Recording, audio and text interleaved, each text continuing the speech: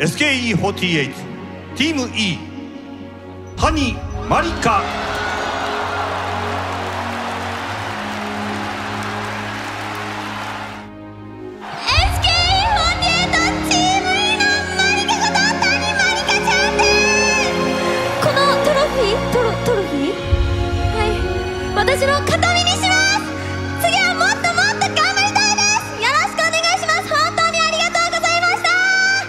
はいおめでとう。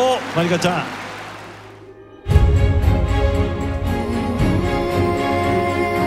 8月いっぱいで SK48 を、えー、卒業することになりました